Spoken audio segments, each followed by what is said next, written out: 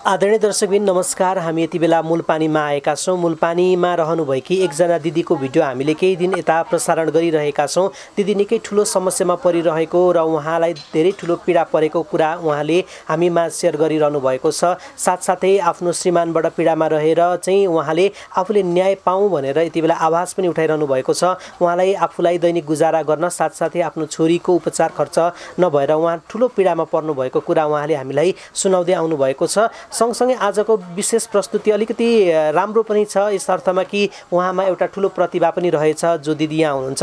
मिठो स्वरकी धनी हुनुहुँदो रहेछ उहाँले मिठो गीत पनि गाउनुहुँदो रहेछ। उहाँसँग केही कुराकानी हामी तपाईँ माझ प्रस्तुत गर्छौँ। दिदी यहाँलाई स्वागत छ। हेलो नमस्कार हजुर सबैलाई। हजुर। के छ तपाईँको नयाँ नौलो खबर? एकदमै ठिकै छ भन्नु पऱ्यो सर। हजुर। हामीले दर्शकमा तपाईँको भिडियोहरू हालेका थियौँ। दर्शकहरूले फोन कतिको गर्दै हुनुहुन्छ? गरिरहनु भएको छ। अब बाहिरबाट विदेशबाट नि गरिरहनु भएको छ नेपालबाट नि गरिरहनु भएको छ। सहयोगको लागिले अब तपाईँको आफ्नो खाता खोल्नुहोस् हामी खातामा हालिदिन्छौँ भनेर भन्नुभएको छ। हजुर।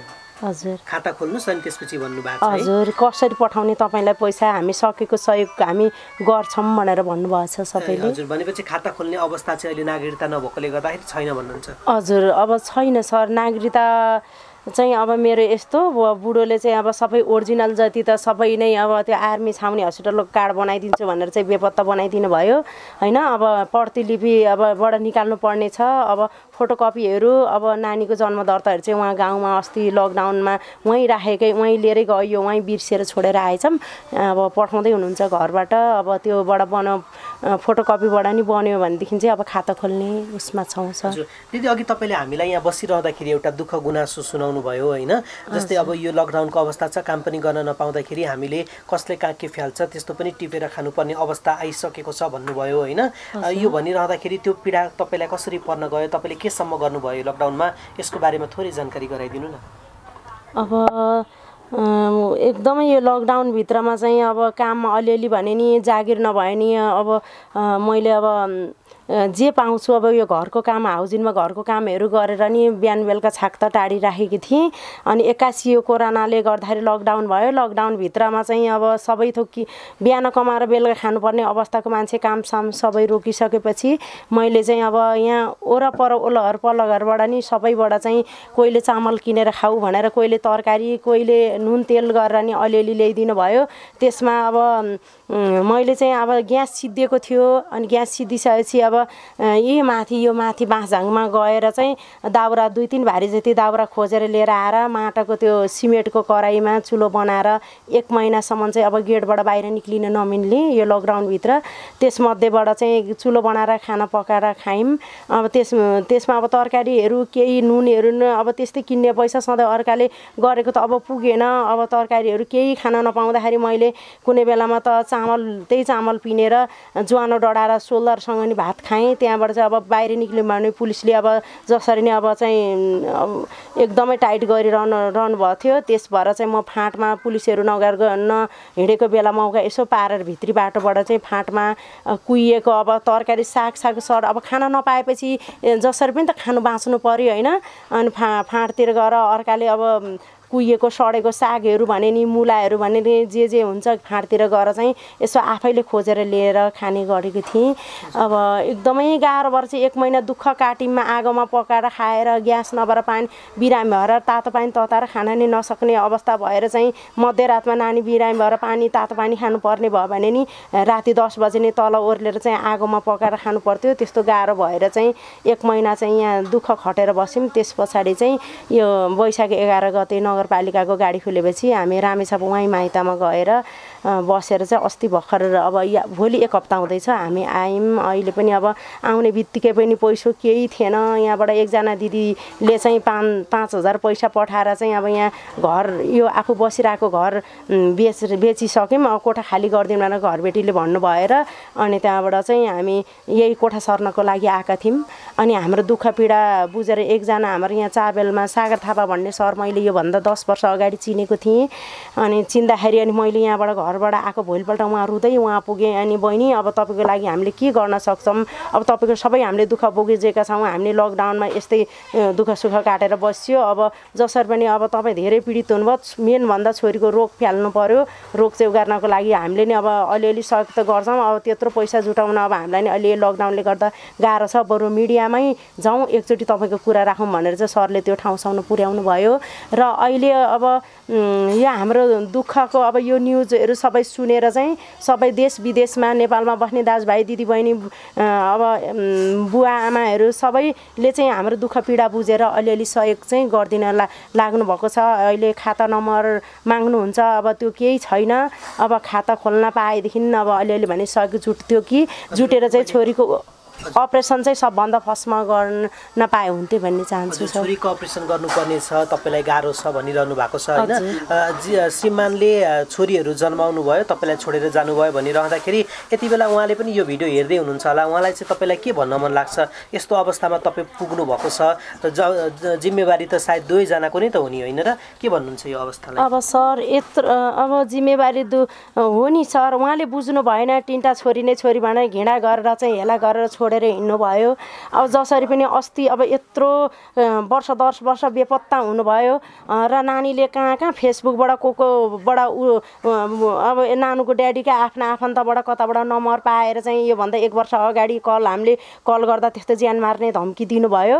त्यस पछाडि चाहिँ अब हामीले धम्की दिएपछि यो नम्बरमा पटक पटक अब फोन नगर भनेर अफ गर्नुभयो। त्यहाँबाट चाहिँ हाम्रो नम्बर कहीँ कतैबाट उहाँले यो सिम धेरै पाँच छ महिनै चलाउनु भएन होला। हामीले कहाँ कहाँबाट चाहिँ अरू अरू नयाँ नम्बरबाट अरू अरूको नम्बरबाट फोन गर्दा नि उहाँको फोन लागिरहेको थिएन। अब अस्ति एक्कासी चाहिँ त्यही उसले ब्लक लिस्टमा राखेको नम्बर चाहिँ अब हजुर मिडिया सरहरूले चाहिँ हजुरहरूको नम्बरबाट ट्राई गर्दा सर लाग्यो। उहाँ अब जिउँदै रहेछ नेपालमै रहेछ भन्ने कुरा नि अब थाहा पाइयो अब उहाँको भनाइअनुसार एकदमै फटा मान्छे हो सर उहाँ। एक नम्बरको मेरो जिन्दगी लथालिङ्गे मेरो जिन्दगी यो ज धरतीमा मर्नु न बाँच्नुको अवस्था उहाँले पार्नुभयो। उहाँले छोडेर गए पनि मेरो लागि त उहाँले गर्न सक्नु भएन। उहाँ यी तिनवटा बच्चा उहाँको नाबालक यी बच्चा त उहाँको रगत त हो नि सर होइन? उहाँको रगत हो। मेरो लागि नि यो बच्चाको लागि उहाँले अलिअलि हेल्प गर्नुहुन्छ। महिनामा चालिस हजार कमाउनु सक्नुहुन्थ्यो भने दस हजार कमाउनुहुन्थ्यो। उहाँ बिल्डिङको ठेकदार हुनुहुन्छ सर होइन? अ, हुनुहुन्छ। अब सबै सुनिरहेको छु। मैले उहाँलाई देख्न भेट्न उहाँ बेपत्ता भएन खबर। अब उहाँलाई भेट्न सकिरहेको छैन। कुन उसका आफ्ना आफन्तहरूले नि मलाई नम्बर जति मैले रोएर भने नि कसैले मलाई कन्ट्याक्ट नम्बर बसेको लोकेसन बताए बताएन बताएनन्। त्यस कारणले गर्दाखेरि चाहिँ अब बल्ल कन्ट्याक्टमा अब आउनुभयो हाम्रो यो न्युज सुनेर चाहिँ उहाँ एकदमै डराएर चाहिँ एकदम राम्रो बोल्नुपर्छ। अब म हेर्छु गर्छु भने जस्तो हजुरहरूलाई सबैलाई त्यस्तो राम्रो बन्न खोज्नु भयो। उसले बोले अनुसार चाहिँ म उहाँलाई अहिले खोतलास गरेर उगार्नु भन्दा नि मेन उहाँले बोलेको कुरा चाहिँ मैले उहाँ नगरपालिकामा चाहिँ मैले निवेदन हालेको छु उजुरी हालेको छु। नगरपालिकामा गएर उहाँले मलाई अब कि पालन पोषण र मानव सामल भएर दुवै परिवार नल्याउने ल्याए पनि सल्लाहमा सहमतिमा आउनु भने हेर्नु पाल्नु पर्यो। कि भनेदेखि मैले पाउने अधिकार चाहिँ उहाँले दिनु पर्यो। त्यही अनुसारले म न्याय न्यायकै लागिले म अब कानुनको ढोका ढकढकाउन पुगेँ। म दस वर्षसम्म उहाँको आश गरेर बसेँ। अब मेरो कुनै केही उपाय नलागेपछि मैले यो लकडाउनभित्रमा गएर चाहिँ मैले उजुरी हालेर उहाँको खतलास गरिपाउँ भनेर एउटा निवेदन हालेको छु। उहाँले बोले अनुसार पुऱ्याउनु भयो भने ठिकै छ उहाँलाई म केही नराम्रो गर्न चाहन्न। होइन मेन अब हजुरहरूले सबैबाट चाहिँ मेरो दुःख पोखे अनुसार यति नानीको उपचार गरेर चाहिँ नानी बचाएर चाहिँ अब जसरी मैले यो कानुनमा गएर कानुन खोजेर मैले न्यायको बारेमा खोजेर चाहिँ उहाँले अस्ति बोले जस्तै गरेर चाहिँ मैले आउने पाउने सबै दिनुभयो भने त्यसमै धन्यवाद म खुसी हुन्छु। अब उहाँसँगै चाहिँ म सँगै बस्न सक्दिनँ होइन? म बरु उहाँले छुट्टैबाट उहाँले बच्चाहरूको लागि हेर- हेर्न सक्नुहुन्छ। उहाँसँग म बस्दिनँ। उहाँले त मैले अब सबै यो ज्यान मार्ने धम्की दिएको के के के के कुरा सुनेर मेरो ज्यानको धेरै दाबी गर्न गरिरहनु भएको होला। त्यसमा मैले सुरक्षा पाऊँ। अब त्यही भन्न चाहन्छु। हजुर दर्शकबिन हामी उहाँसँगको कुराकानी प्रस्तुत गरिरहेका छौँ। उहाँले भनिरहँदाखेरि उहाँले आफू न्यायको लागि आवाज उठाउनको लागि मिडियामा आए भन्दै हुनुहुन्छ।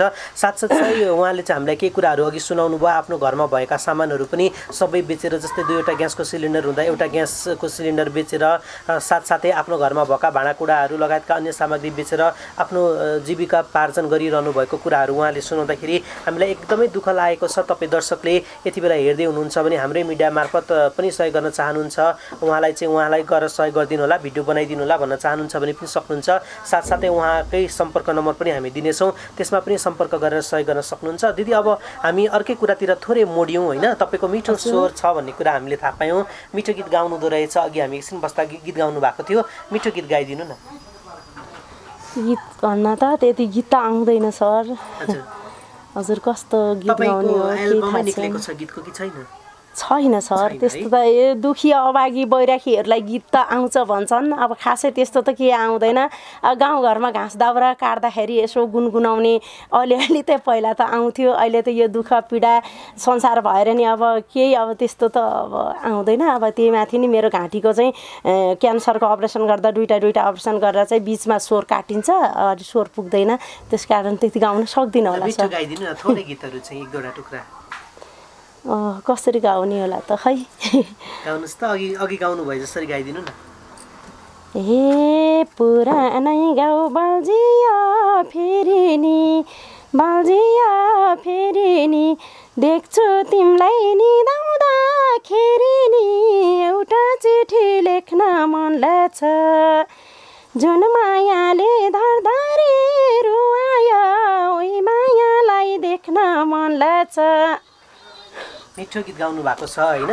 अर्को पनि एउटा गीत सुनाउँदै हुनुहुन्थ्यो। यो चाहिँ तपाईँको आफ्नै पीडाभित्रैको समितिको गीत जस्तै लाग्यो है। जुन मायाले धरधरी रुवायो तपाईँले आफूले सुनाए अन्तर्गत तपाईँको श्रीमानले दुःख दिनुभयो भन्दाखेरि तपाईँसँग म्याच खायो कि यो गीतले है?